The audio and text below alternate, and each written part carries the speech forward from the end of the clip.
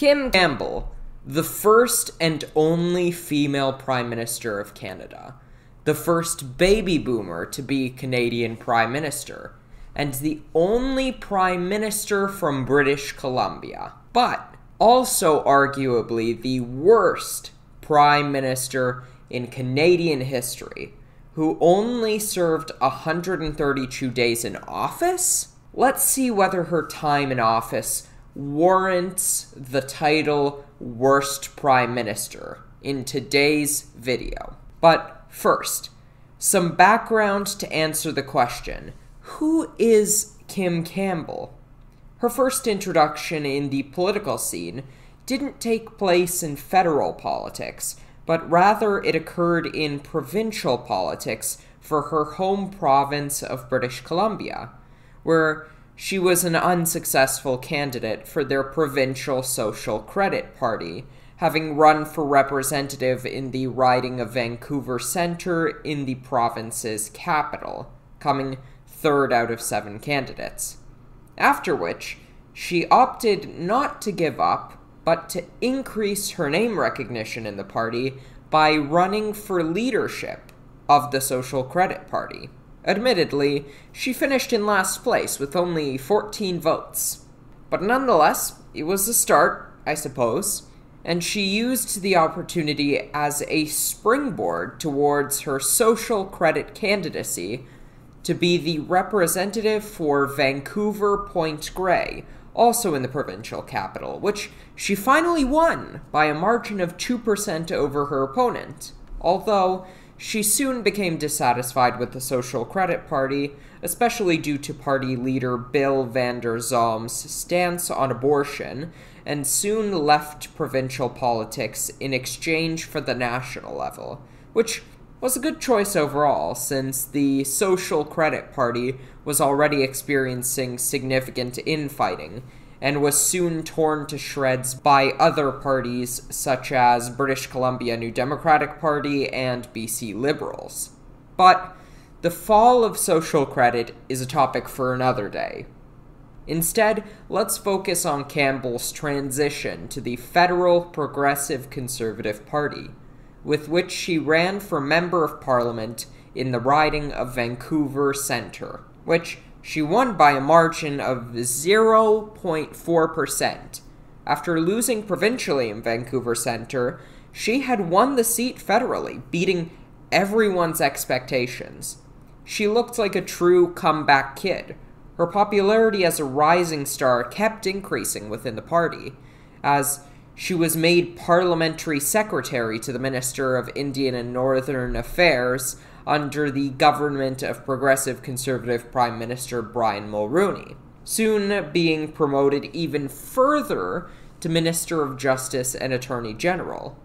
Her apartment oversaw major legislation on the topics of firearm and sexual assault. In 1993, she even held the position of Minister of Defense in the Mulroney government. But what Kim Campbell didn't expect was that her political career would also end in 1993. The Mulroney government had been extremely unpopular due to various political stances which it had taken over the years, and a worsening economic situation. Since he knew that the party couldn't win under his leadership, Prime Minister Brian Mulroney resigned, leaving the prime ministry up to a progressive conservative party leadership election. Immediately, people knew that Kim Campbell would be a prominent candidate for the leadership position, and therefore for prime minister. Thus, many high ranking candidates didn't run against her. She would have been practically unopposed had Prime Minister Brian Mulroney not convinced Environment Minister Jean Charest to run against her, because otherwise the election would have looked somewhat undemocratic. But she eventually won with a 52.7% vote, becoming the first female Prime Minister in Canadian history. Many people now criticize Kim Campbell for not doing much during her time as Prime Minister. But Honestly, we don't think that's a justified criticism. how much can you do if you're inaugurated 132 days before the Canadian election?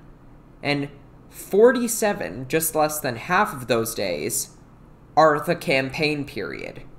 Furthermore, she was extremely active during that time, restructuring government, reducing the number of ministers from 35 to 23, at a time when small government was quite a popular concept, while also adding ministries for health, Canadian heritage, and public security, which still exist to this day.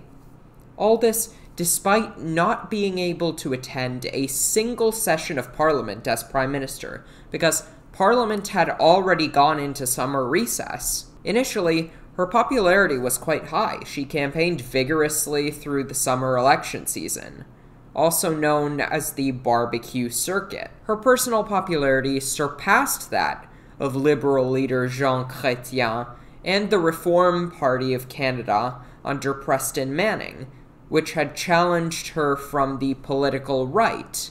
But her popularity wasn't to last for a long time. Her blunt style of communication sometimes came out wrong, resulting in her popularity declining heavily after she announced her candidacy, due to remarks like it being unlikely that the budget would balance by the year 2000, or that a 47 day leadership campaign was no time to discuss complexities of how she would change the political system.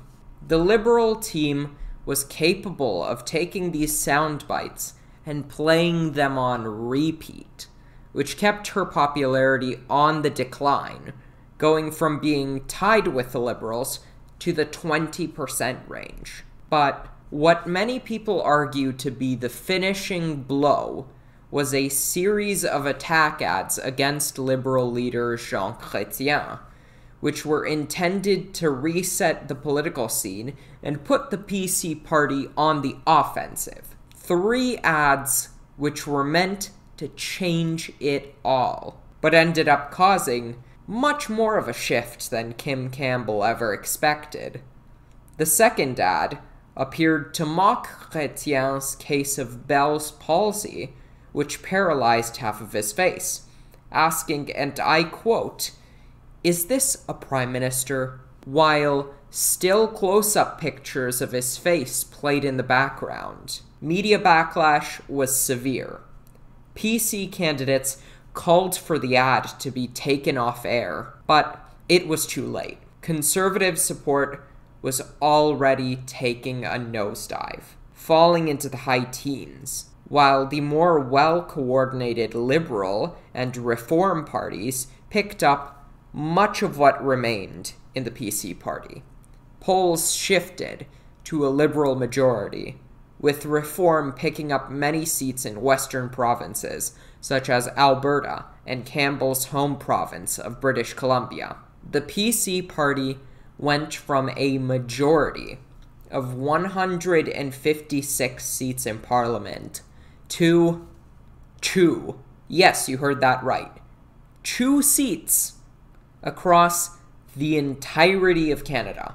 One in Quebec and one in New Brunswick. Notice as well how I didn't say British Columbia. Kim Campbell was the third ever Prime Minister to lose her own seat. The worst ever election loss in Canadian history. The only remaining PC members of parliament were Elsie Wayne and Jean Charest, who ran against Campbell back in the leadership election, being unanimously elected as the party's leader in 1995, leading the PCs through the long road to try and regain popularity, helping the party survive after the disastrous election of 1993. Kim Campbell was likely the worst progressive conservative party leader in Canadian history. Under her leadership, the party was bled dry from all directions. In the weakest election showing for the PCs in Canadian history. Only thanks to later leaders like Jean Charest and Peter MacKay did the party survive and merge with the Reform Party, now making up the Conservative Party of Canada. Kim Campbell was not some inherently bad prime minister. Her performance in office, given the time frame, wasn't bad. It was because her campaigning and political organizing abilities on a national level were terrible. Absolutely terrible. That's why the party collapsed. If you enjoyed this video, please consider subscribing and liking for more content like it. As well, in the description, we've included some further readings. Have a good day. Bye.